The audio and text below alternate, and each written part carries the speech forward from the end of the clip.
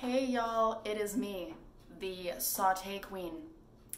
I now present to you Octo Arm. Walmart, 488. Let's go. Alright, Octo.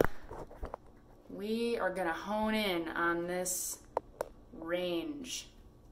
Aha! My favorite part about that is how it's not centered or professional looking at all. So let's see what Octo can do for us here. Oh no, Octo, that is not what, no.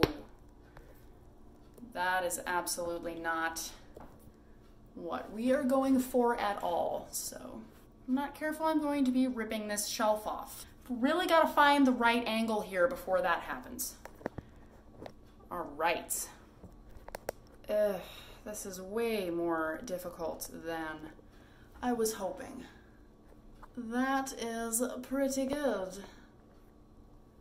Pretty good. I can even tilt it up a little bit so you can kind of see me.